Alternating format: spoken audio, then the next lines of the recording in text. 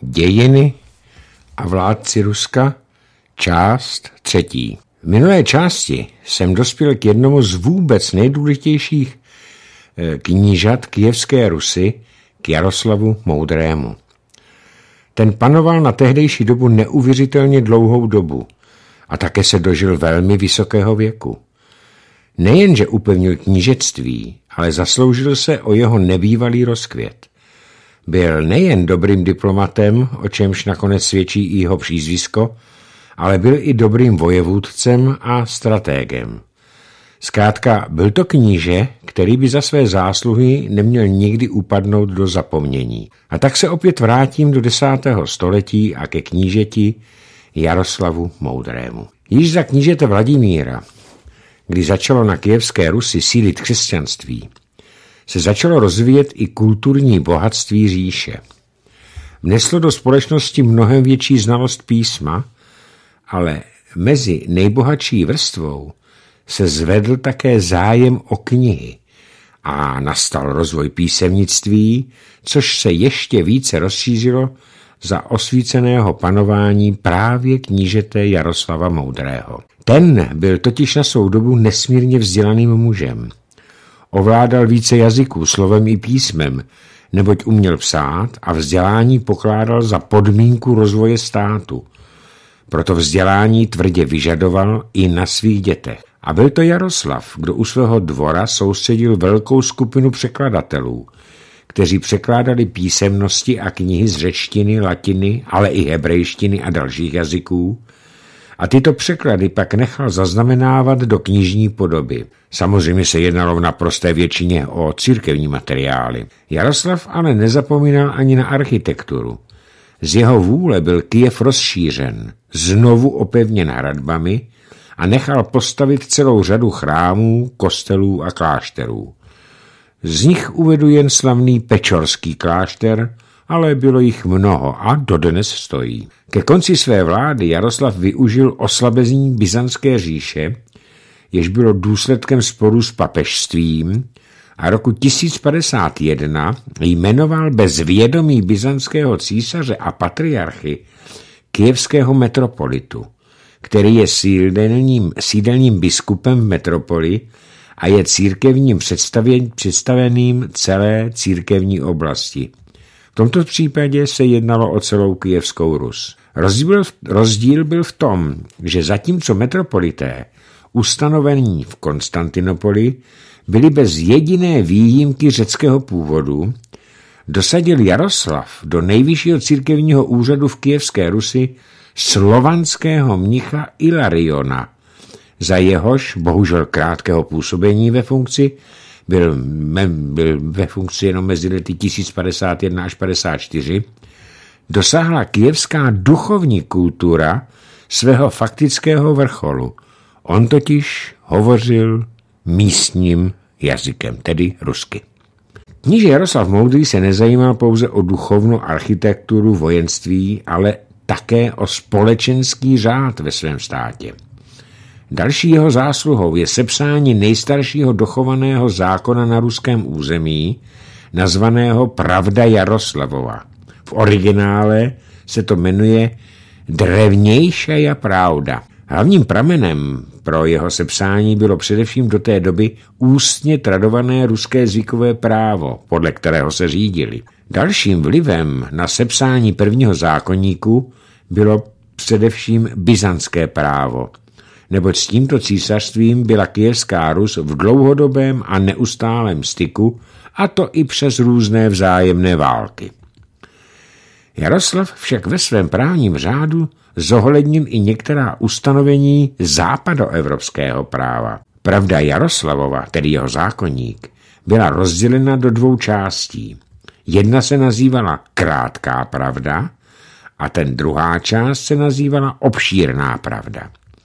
Celý tento zákonník knížete Jaroslava Moudrého je psán ve slovanském jazyce, tedy nikoli latinsky, jak tomu bylo v 11. století v západní Evropě, ale i v českých zemích naprostým zvykem. O tomto prvním psaném zákonníku by se dalo hovořit obšírně, neboť se na tu dobu jednalo o jeden z nejlépe propracovaných zákonníků v Evropě a je o tom hodně eh, historických písemných materiálů, ale pro účely tohoto cyklu postačí pouze říci, že se jednalo především o kodifikaci trestního práva a na svou dobu byla forma trestů až nebývale mírná.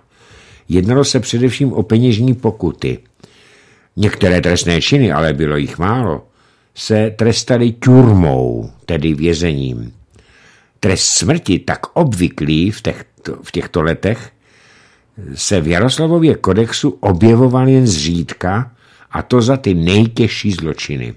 Ovšem, na druhou stranu, tam Jaroslav připouštěl krevní mstu. Pomstít zabití člověka bylo povinností bratra, otce nebo syna a dokonce i sestry. Jinak byly také tresty odstupňování podle příslušnosti vyníka k etnické skupině obyvatelstva. Jaroslavová pravda, někdy se též tomuto říká, e, tomuto zákonníku ruská pravda, byla již za Jaroslavových potomků stále obměňována a rozšiřována a bylo zřetelně vidět, že na změny mělo veliký vliv stále se rozšiřující křesťanství. Jaroslav I. moudrý pak zemřel, jak už jsem uvedl v úvodu vyprávění o tomto knížeti, v roce 1054 v úctyhodném věku na tehdejší dobu 76 let.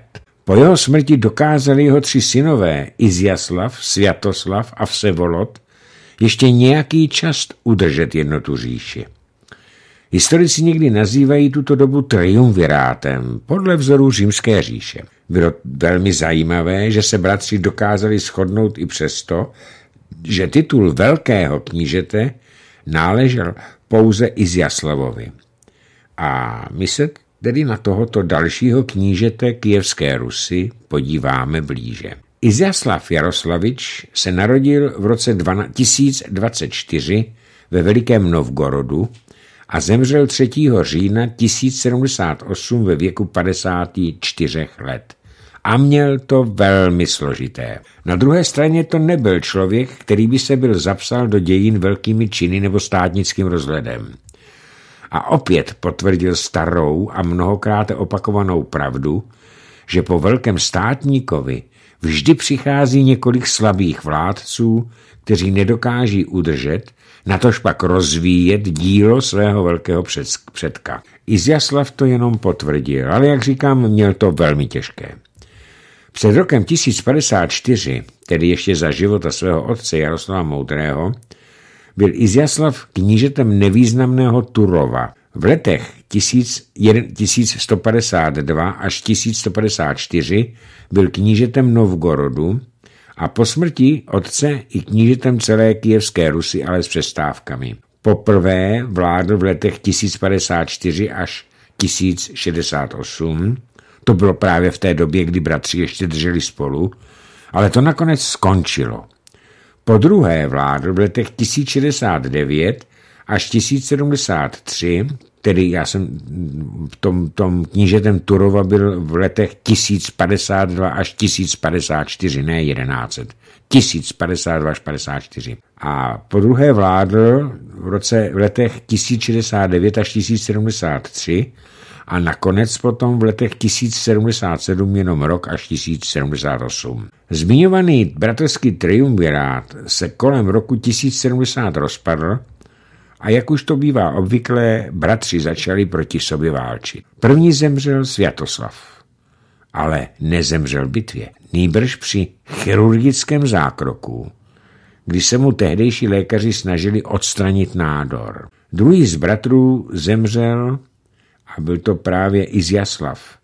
Tentokrát v bitvě se svým bratrem Sevolodem, která se konala nedaleko Černigova. Izjaslava ale zabil Vsevolodem podplacený knížecí ochránce, když jej zákeřně během bitvy zavraždil ranou dýky dozad.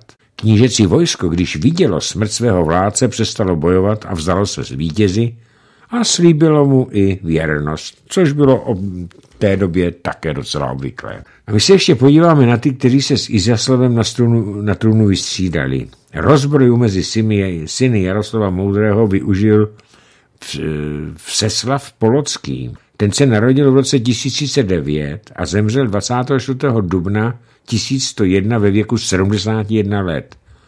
Byl to nejslavnější panovník Polocka, což bylo historické město a území v severním Bělorusku.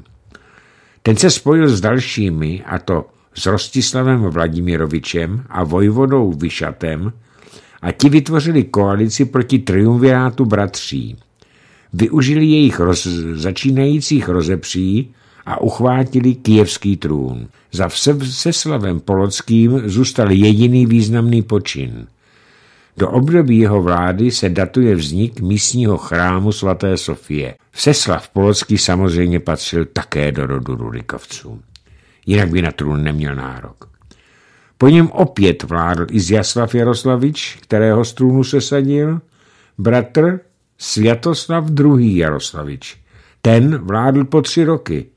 A ještě jednou to zopakuji, od roku 1073 do roku 1076, kdy zemřel ve věku 49 let při té zmiňované neúspěšné operaci. No, a aby se na kijevském trůnu vystřídali všichni bratry, bratři, po smrti tohoto bratra trůn uchvátil třetí z nich, Vsevolod první Jaroslavič. A opět se na trůnu vystřídal dvakrát. Poprvé vládl v letech 1076 až 1077 a poté v letech 78 až 1093. A jako jeho další dva bratři byl synem knížetem Jaroslava Moudrého a švédské princezny Ingegerd. Ingigerd. Druhá vláda knížete Vsevoloda byla již dlouhá.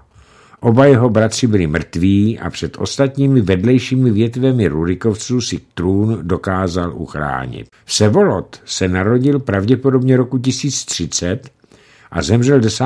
dubna 1093, tedy ve věku 63 let. Vsevolod vládl dlouhá léta Perejaslavli, kterou držel, obdržel od otce.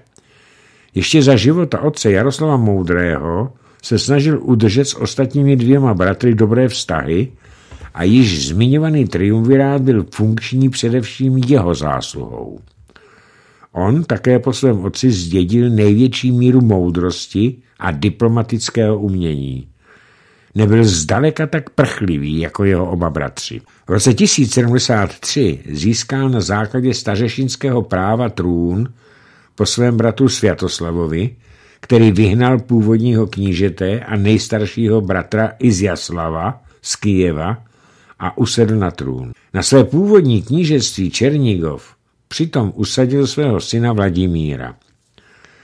Poté, co zemřel roku 1076 Světoslav, stal se Vsevolod první Jaroslavič kijevským knížetem. Ale když se jeho starší bratr vrátil z ciziny, přenechal Izjaslavovi sám opět jeho původní vládu nad kijevskou Rusí. Ale i Izjaslav v roku 1078 zemřel a tak se Vsevolod první usadil po druhé na kijevském trůnu a vládl až do své smrti roku 1093, kdy, jak jsem ji říkal, ve věku 63 let zemřel i on. Vsevolod nebyl špatným vládcem.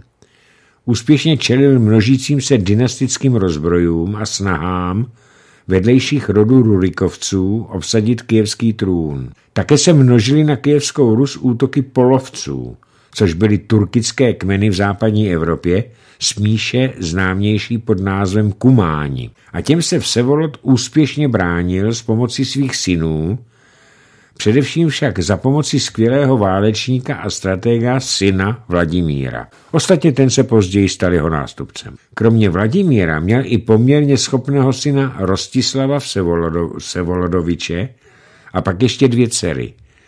Děti měl Vsevolodce dvěma manželkami. Tou první byla významná byzantská šlechtična, která po sňatku s ním přijala ruské jméno Anastázia Monomachovna Byzantská, která žila v letech 1046 až 1067. Druhou ženou byla šlechticina Anna Polovská, se kterou se oženil rok po smrti své první ženy, tedy v roce 1068.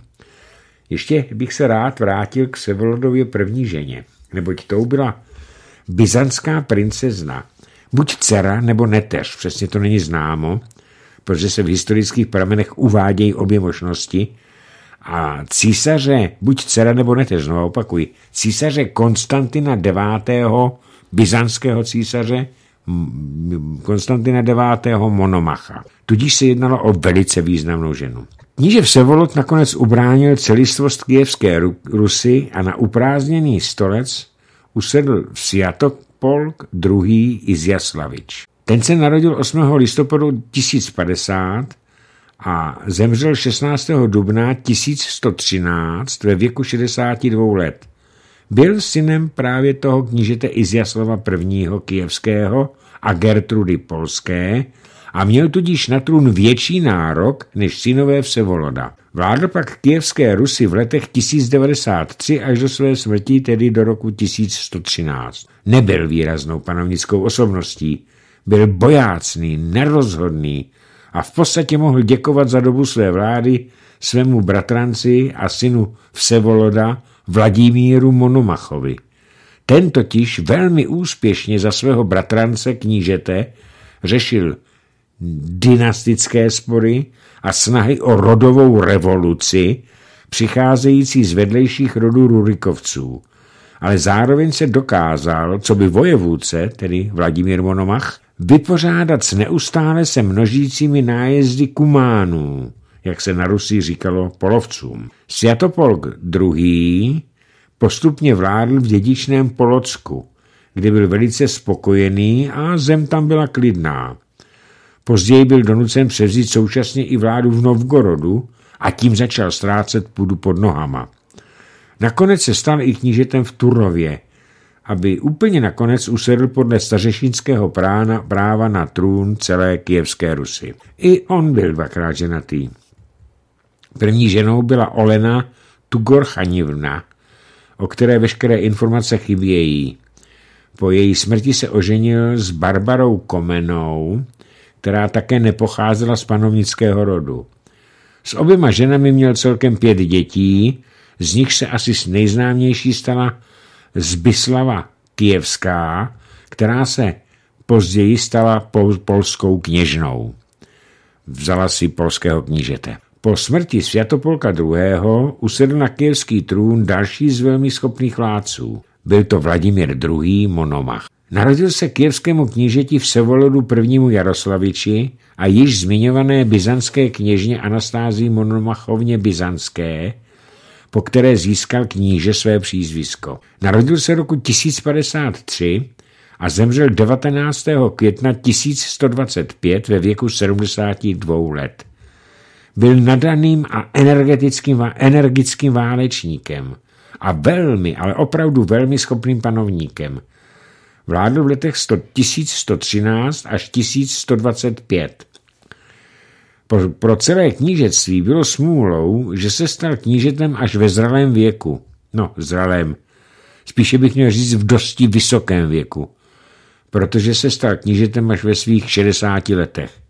Přičemž měl za sebou mnoho taktických diplomatických úspěchů, ale i válečných úspěchů v bitvách. Již ve svých 25 letech velel kijevské armádě a útočící kumány porážel, dalo by se říci, jak na běžícím pásu. Neodbitní kumáni se neustále snažili rozvrátit a vydrancovat bohaté knížectví a byli Vladimírem neustále poráženi. Ale ani to je neodradilo od toho, aby se následující jaro, nejpozději léto, opět nepokusili nachytat Rusy na švestkách. Zásluhou Vladimíra I. Monomacha se jim to však nikdy nepodařilo.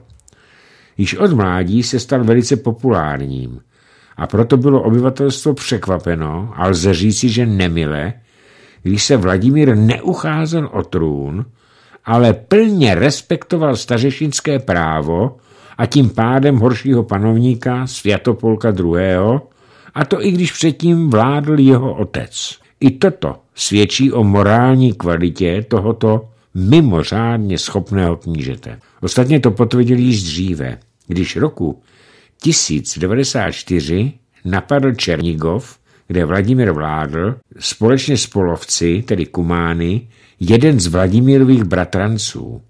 Velmi ctižádostivý a bojovný Oleg Sviatoslavič. Ten, hlavní zásluhu na to měli kumáni, poplenil okolí města a pokusil se Černígova dobít. Vladimír nechtěl válčit s bratrancem a tak s, mm, s Olegem uzavřel mír a raději odešel do otcovské Pereslavle, kde vládl až do roku 1113, tedy do doby, než usedl na trůn kijevské Rusy. Oleg Sviatoslavič byl s někým neustále ve válce a nakonec spadl po prohrané bitvě, když se škrábal z příkopu před hradbami jakéhosi města, byl dostižen místními pasáky kos a potupně ubyt klacky. To znamená, že ani nezemřel rytířskou smrtí. Co se týče válek Vladimira Spolovci, tedy po našem Kumány, bylo to proto, že Perejaslavl se nacházela až na pomezí ruského státu a širých stepí, takže byla snadným cílem nájezdů polovců. Vladimír Monomach s nimi vedl mnoho válek a dosáhl vynikajících výsledků. V letech 1103 až 1111 je zatlačil až za Don k dolní Volze a zasloužil se o to, že se polovci proti němu už báli tak často vyrážet. A právě tyto velké válečnické úspěchy byly zřejmě hlavním důvodem, že byl roku 1113 povolán na kijevský trůn, i když na něj stále ještě neměl z hlediska nástupnictví právo.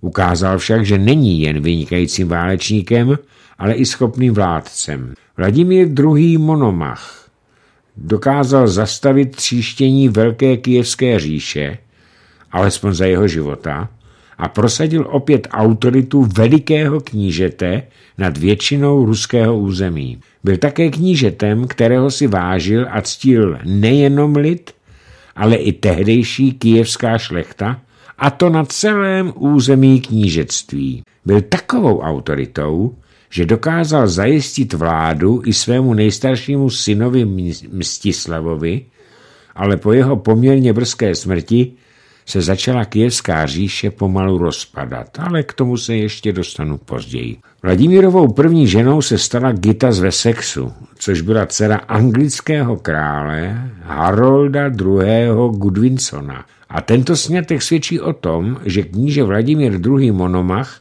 byl evropsky uznávanou osobností.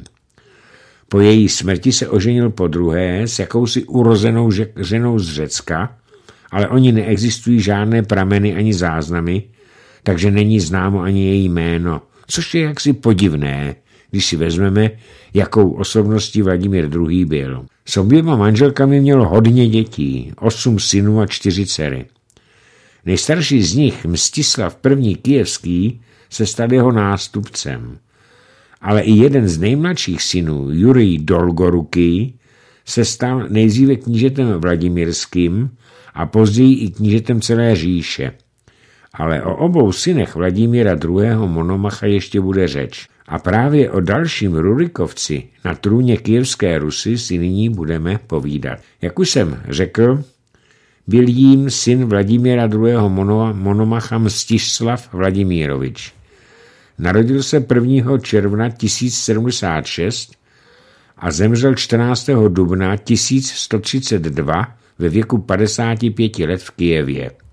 Vládl mezi lety 1125 až 1132, tedy poměrně krátce. Jako mladý vládl Novgorodu a zasloužil se především o obnovu vyhořelého novgorodského dětince, jinak též nazývaného Novgorodský Kreml. Ještě musím vysvětlit, co to vlastně slovo Kreml znamená. My je máme zafixováno se sídlem ruských a později sovětských vlásů v Moskvě. Ovšem, v ruštině je slovo Kreml znamená ruské označení pro pevnost. Tedy Kreml je rusky pevnost a podle historiků se nejspíše jedná o akropoli města. A to je opevněný střed města, obehnaný hradbami se střílnami, kdy byla v pozdějších letech umístěna i děla. Ovšem, před vynálezem a všeobecným používáním střelného prachu a tím pádem i děl, byly střílny v hradbách určeny pro lučištníky a střelce z kuší, kteří byli pro obranu Kremlu, tedy pevnosti, nezbytní. A právě celá tato pevnost Kreml v Novgorodu totálně vyhořila a jen zásluhou Mstislava byla dokonale opravena. U tohoto knížete není uvedeno ani jméno manželky nebo i více manželek. Jsou známé pouze jeho děti a měli hodně, celých jedenáct. Asi největší jeho zásluhou bylo udržení celistvosti říše, kterou obdržel od otce. Dalo mu to hodně práce, neboť se stále častěji drali k moci Rurikovci z vedlejších větví tohoto vlácovského rodu a jak známe z historie, tak tento počin vedl vždycky k rozpadu říše. A my se nyní podíváme, jak k tomu došlo. Podíváme se, se na dalšího kijevského knížete a tím byl Jaropolk II. Vladimírovič. Ten se narodil v roce 1082 v Černigovu a zemřel 18. února 1139 v Kijevě ve věku 57 let. Kijevské říši vládl v letech 1132 až do své smrti v roce 1139, tedy pouhých sedm let. A po celou tuto dobu se musel potýkat se snahou o uchvácení kijevského trůnu, především z příbuzenstva, ale i z vlastní rodiny. Mládí bojoval spolu s otcem v mnoha bitvách proti polovcům, a to poměrně dlouhou dobu, mezi lety 1103 až 1116. V roce 1114 zemřel kníže Pereslavský, Perejeslavský Světoslav Vladimírovič a Jaropolk po něm převzal toto menší knížectví. Po smrti svého staršího bratra Mstislava Vladimíroviče pak převzal vládu nad celou kijevskou Rusí. Po celou dobu se potýkal především se svým nevlastním bratrem Juriem Dolgorukým, který se ho opakovaně pokoušel zbavit trůnu. V roce 1116 se Jaropolk II. oženil s oseckou princeznou Helenou, ale neměli děti. Samotná kněžna pak zemřela po roce 1146. Po Jaropolkovi ale přece jen dítě zůstalo. Byl to Vasilko Jaropolkovič, ovšem, kdo byl jeho matkou, to se neví. A po tomto velikém knížeti, jak se nažívali běžně vládci Kijevské Rusy, nastal pomalu její rozpad. Dalším knížetem na kijevském trůnu se stal Vyačeslav I. Kijevský, který byl synem Vladimíra II. Monomacha také. Narodil se v roce 1083, přesné datum známo není, a zemřel 2. února 1154 v Kijevě v úctyhodném věku 71 roku. Dne 18. února roku 1139 se stal po smrti svého bratra Jaropolka II. velikým knížetem, ale hned v březnu téhož roku ho z Kijeva vyhnal Vsevolod II. Pak později vládl v Kijevě spolu se svým synovcem Izjaslavem II., ale oba zemřeli krátce po sobě na přelomu let 1154 a 155. A za jejich vlády, jako vždy, když je vládců více, panoval v říši chaos, zmatek a úpadek. Jačeslav první kijevský je pohřben v katedrále svaté Sofie v Kijevě. A my se dostáváme k dalšímu velikému knížetí a tím byl Vsevolod II. Olegovič. Ten byl synem černigovského knížete Olega Sviatoslaviče a vládl v letech 1139 až 1146 a byl to velmi slabý a neschopný kníže, který se více zabýval náboženstvím nežli vládou. Oženil se s Marií Mstislavnou Kijevskou, dcerou kijevského velkoknížete Mstislava, a měli spolu dva syny a dvě dcery. Ještě za života tohoto velkoknížete byl vybrán jeho nástupce a nebyl to ani jeden z jeho synů, nýbrž jeho bratr Igor. V podstatě k tomu byl donucen. A uvádí se, že od svých, tedy hm, myslím Oleg Sviatoslavič, eh, uvádí se, že od svých podaných získal slib, že Igora přijmou za svého vládce. Podle jedné z tehdejších písemných zpráv šel Vsevolod druhý Olegovič tak daleko, že nechal Kijevany, samozřejmě k jejich veliké nelíbosti, políbit svatý kříž a přísahat věrnost Igorovi. On vůbec se mu do té vlády nechtěl a taky vládl špatně. A krátce před svou smrtí opustil knížecí stolec, stal se mnichem a přijal jméno Gavriel. Byl to opravdu velmi slabý vládce Veliké říše. A jdeme k dalšímu velkoknížeti Kijevské říše, kterým byl Igor II. Olegovič. Jak jsem říkal, na trůn se dostal jen zásluhou svého bratra a donucením podaných, aby jej přijali. Jenomže mu to nic nepomohlo. Byl dalším z řady slabých vládců a po svém bratru v Sevolodu dalším, který se nakonec stal mnichem a byl dokonce pravoslavnou církví označen za svatého, i když, jak za chvíli uslyšíte, si této pocty zřejmě nezasloužil. Narodil se v roce 1096 a zemřel v roce 1147 ve věku 51 let. Vládl jen velmi krátkou dobu, což svědčí o nastávajícím úpadku této říše. Nebyl ženatý. Alespoň o tom neexistuje ani jediný zápis.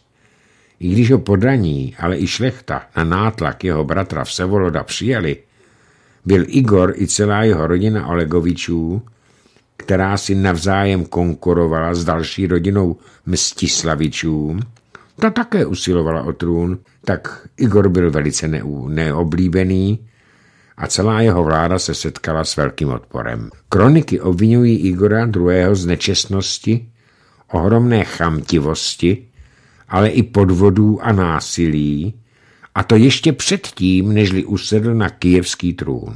Vládl necelé dva týdny a za těch několik dnů, když se dostal k vládě, tak nastolil takové podmínky pro život lidí, že sami Kijevané požádali Izjaslava Mstislaviče, tedy vládcova bratrance a velikého soupeře v boji o trůn, aby vyhnal Igora a sám převzal vládu. Samotný Izjaslav se nedlouho předtím, to když Igor usedl na trůn, vzdal svého původního slibu vynuceného Vsevolodem, že nebude usilovat o trůn. Po žádosti obyvatel sebral vojsko, Igora napadl a porazil vojsko velkoknížete i jeho bratra Sviatoslava, který mu přišel pomoci. Bitva se konala v jezernaté a bažinaté krajině a Izjaslav své bratrance oba dva porazil. Sviatoslavovi se podařilo upuchn, uprchnout, když se třásl pro následovatele.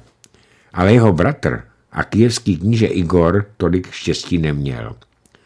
Uvízl v bažině a nedokázal se sám vyprostit a tak byl lehce dostižen a zajat. Byl uvržen do hluboké jámy, ze zhora přikryté pouze mříží z dřevěných prutů, ale bylo by to stejné, jako kdyby tam nic nebylo, neboť jáma byla natolik hluboká, že se vězeň vlastními silami nahoru na okraj nemohl dostat a neměl tak nic, čím by si mohl pomoci. Nešťastný kníže Igor v této jámě trpěl několik let, až do roku 1146, kdy byl již vážně nemocen a požádal o povolení stát se mnichem. Izjaslav jej propustil a Igor se skutečně mnichem stal v klášteře svatého Fyodora v Kijevě, kde přijal jméno Ignácius. Mohlo by se zdát, že dožije v klidu kláštera, ale nebylo tomu tak. Již o rok později on byl strašně nenáviděn těmi Kijevany, obyvateli. Tak tedy o rok později, co se stal mnichem, přijal jméno Ignácius, tedy v roce 1147, byl i v klášteře Igor napaden davem Kijevanů, kteří se obávali, že se opět chystá na trůn. Z písemných dobových záznamů nevyplývá zcela jasně, že tomu tak skutečně byli, bylo, ale určité náznaky se i v těch písemnostech objevily. Jeho bratr Vladimír III. Mstislavič se jej sice pokusil zachránit, ale nepodařilo se mu to. Jeho ozbrojenci na veliký a rozzuřený dav nestačili. Igor byl zahnán na balkón poměrně vysoko nad zemí a ten dav se na něj, na ten balkón nahrnul. Ten balkón váhu davu nevydržel a zřídil se. Igor spolu s několika dalšími osobami zahynul. Jeho tělo, přece jenom to byl kníže, i když pouze velmi krátkou dobu, pak jeho bratr Vladimír Mstislavič vystavil na velkém tržním náměstí, než je nechal pohřbít. Jenomže, a to podle legend, se kolem jeho vystaveného těla začaly dít zázraky, které z něho udělali svědce, kterým byl později prohlášen. Až za tři roky po pohřbu jeho bratr Vladimír Mstislavič vyzvedl jeho ostatky a odvezl jej do Černihivu, což bylo hlavní město Černigovského knížectví. A tak skončil pozdější světec, který vládl kijevské Rusy jen velice krátce. A na trůnu kijevské Rusy usedl ten, o kterém již byla řeč. Izjaslav II. Stislavič, další z rodu Rudikovců. A tak se na něho podíváme. Izjaslav Mstislavič se narodil roku 1097 v Belgorodu a zemřel 13. listopadu 1154 v Kijevě, Kijevě ve věku 57 let. Ovšem tento kníže dostal při křtu jméno od rodičů kijevského knížete Mstislava Vladimiroviče a matky Kristýny Ingesdotter, švédské jméno Ingen, Ingesdotter švédské, dostal jméno Pantelejmon. Své známé jméno přijal tedy Izjaslav později. Písemné anály z té doby se o něm poprvé zmíní v roce 1127, kdy byl otcem dosazen do knížectví Kurského. Poté záznamy uvádějí, že se roku 1130 zúčastnil se svými příbuznými tažení proti polockým knížatům. V několika bitvách je Kijevané porazili a Izjaslav tam poté zůstal jako tamní vládce. Když v roce 1132 zemřel knížem Stislav Vladimírovič a na trůn nastoupil jeho mladší bratr Jaropolk, převedl Izjaslava do Perejaslavlě, kde byl potřeba nový kníže. Jenomže si musíme uvědomit, že v dobu, kterou nyní popisuji, vládly v kijevské Rusi neustálé boje různých větví Rurikovců o moc, o trůn a o vládu. A tak se stalo, že se část polického knížectví opět dostala pod vliv polocké větve Rurikovců a kníže Jaropolk musel řešit udržení alespoň části tohoto knížectví ve vlivu Kijeva a proto dosadil do Pereslavě schopnějšího a hlavně mnohem tvrdšího Vyačeslava Vladimíroviče a Izjaslavovi dal Turov, Pinsk a Minsk. No jo, jenomže to se zase nelíbilo Vyačeslavovi, který se roku 1134 do Turova vrátil i s vojskem a Izjaslava odtud potupně vyhnal. No, mlelo se to již v tomto velikém knížectví, jak se patří. Izjaslav musel odejít do Novgorodu k bratru Vsevolovu, Vsevolodu Misistaviči a společně pak zaútočili na dalšího Rurikovce Jurie Dolgorukého, o kterém ještě bude řeč. Zahnali ho a poté společně s dalšími kmeny, Olgoviči a Polovci, pustošili Perejaslavskou zemi až k samotnému Kijevu. Jaropolk musel ustoupit a Izjaslav si tím zajistil další knížectví, tentokrát volínské, odkud vyhnal dosavadního knížete Andreje Vladimíroviče, který zase na oplátku musel utéci do Pereslavly. Bylo to tam zmatené. Když v roce 1139 zemřel Jaropolk a Kijev obsadil a vlády se ujal Vsevolod, Oleg, Vsevolod Olegovič, ten byl ženatý s Izjaslavovou sestrou a přesto se k němu nejen Izjaslav, ale i jeho bratři chovali obezřetně, nějak mu nevěřili. A měli pravdu. Netrvalo, netrvalo dlouho a Vsevolod uskutečnil válečnou výpravu proti Izjaslavovi, ale tomu se podařilo ho odrazit. Poté spolu sice uzavřeli mír, ale bez důvěry. Nicméně Vsevolod s velkými potížemi dovládl v Kijevě do smrti a poté převzal jeho vládu jeho bratr Igor. A to už bylo na Izjaslava dost.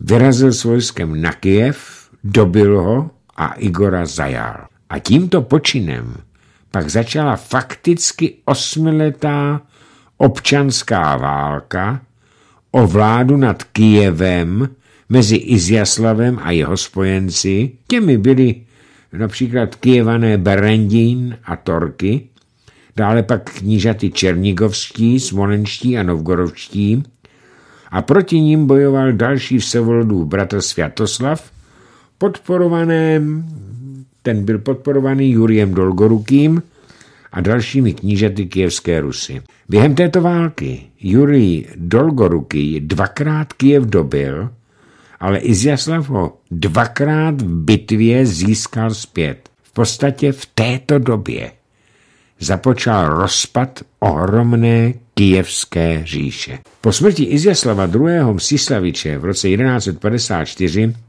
se knížecího trůnu násilím zmocnil Izjaslav III., syn Davida Sviatoslaviče z Černigova. O tomto knížeti, který vládl s mnoha přestávkami, jak pokračovala válka o kijevský trůn, mnoho záznamů není. Nebyl tudíž nějak významným knížetem a tak hned přejdu k dalšímu knížeti z této velice bouřlivé doby a tím byl již zmiňovaný Jurij Dolgoruký. Ten se narodil v roce 1095 a zemřel 15. května 1157. Byl v pořadí šestým synem velmi úspěšného kijevského knížete Vladimíra II.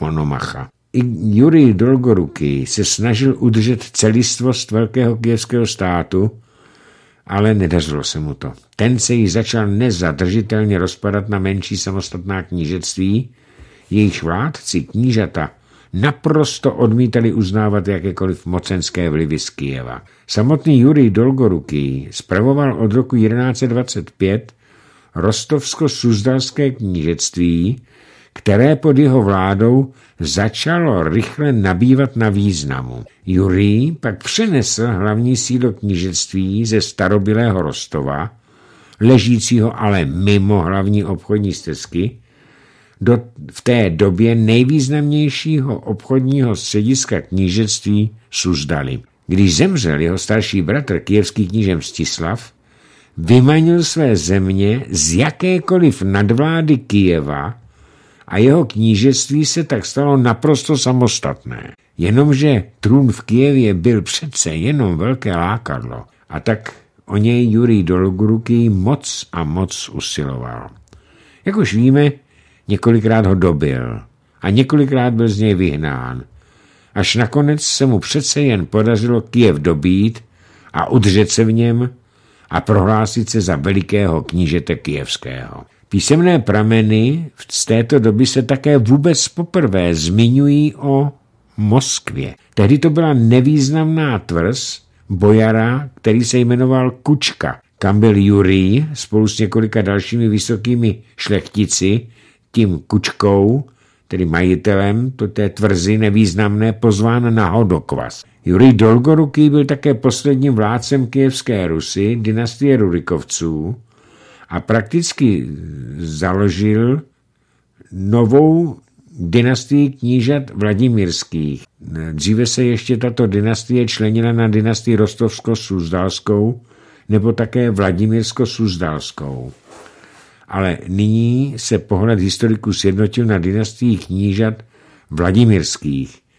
Jejichž prvním představitelem byl právě Jurij Dolgoruký, protože on vládl knížeství rostovsko-suzdalskému. Po jeho smrti v roce 1157 usedl na knížecí stolec Vladimírsko-suzdalského knížectví, které díky i tomu Jurii Dolgorukému svým významem naprosto již tehdy převýšilo kijevskou Rus, která se prakticky rozpadla a přestala jako stát existovat, a jeho význam jako vládnoucí knížectví celé oblasti přezdalo právě toto knížectví, tedy nový státní útvar. Syn Jurie Dolgorukého, Andrej Bogolubský, tento nový státní útvar v podstatě zavedl a vystřídal svého otce na trůnu Vladimírsko-Suzdalského knížectví.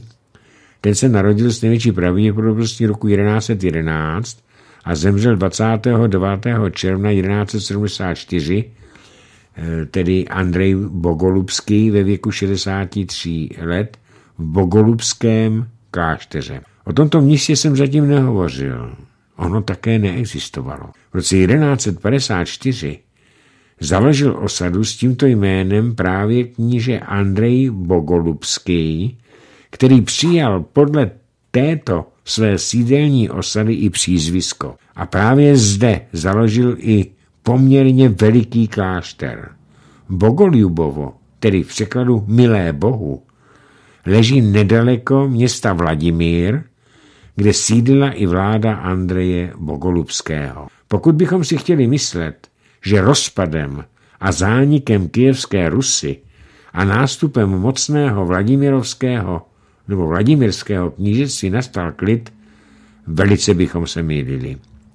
Jasným důkazem toho, že se o vládu i nad tímto knížectvím adepti na knížete rvali jako psi, je i vražda druhého Vladimírsko-suzdalského knížete Andreje. V noci 29. června 1174 jej přepadli spiklenci a velmi surovým způsobem knížete zavraždili. A jelikož byl po celý svůj život Andrej Bogolubský velice pobožným člověkem, byl kvůli své mučednické smrti později prohlášen za svatého, a to i přesto, že podobně jako u české svaté Ludmily netekla krev. On totiž byl, podobně jako svatá Ludmila, zardoušen. A my se spolu dostáváme k dalšímu velkokníže, nebo velikoknížeti Vladimírsko-Suzdalského knížectví Michailu Jurjeviči. Musím říct ještě jednu věc. Eh, velká kijevská Rus už neexistovala. Nadvládu nad ostatními malými knížectvími si násilím ale i penězi a mocí vydobilo právě Vladimírsko-Suzdalské knížectví. Takže se už o knížetech kijevské Rusy mluví jenom o, jako o místních malých vládcích. A jako velký stát bylo to knížectví Vladimírsko-Suzdalské. A právě druhý kníže, velkokníže nebo veliký kníže, Vladimírsko-Suzdálského knížectví byl Michail Jurjevič. Narodil se roku 1145 a zemřel 20. června 1176 ve Vladimíru ve věku 31 let.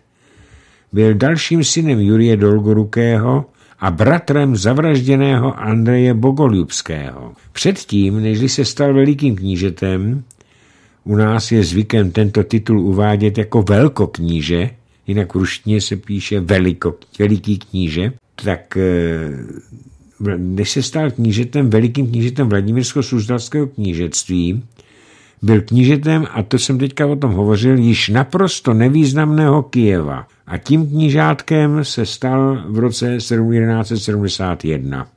V roce 1174 nastoupil na velkoknížecí trůn, bylo to v červnu, ale již na podzim téhož roku jej na pár měsíců svrhnul jeho vlastní synovec Jaropol Krostislavič. Hned za rok, tedy v roce 1175, a bylo to také v červnu, Michal Jurjevič Jaropolka porazil a vyhnal a opět se ujal vlády, jenomže o rok později nečekaně zemřel.